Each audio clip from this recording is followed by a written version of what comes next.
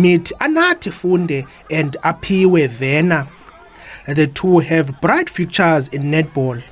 Netball and rugby have been prominent sporting codes in KwaZakhele since the 1970s.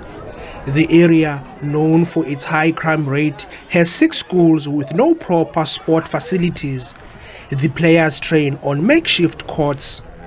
But their love of and attitude towards the sport ensured that they return as champions. I'm so excited to win the national tournament. As much as it was not easy, our attitude kept us on the game. Our head coach helped us a lot and we're so grateful. I am thrilled about my performances. We did really well as a team. I am over the moon. Teachers and coaching staff are pleased with their performances. I am happy as a coach because they responded really well to my training techniques. They were competing with top schools with resources.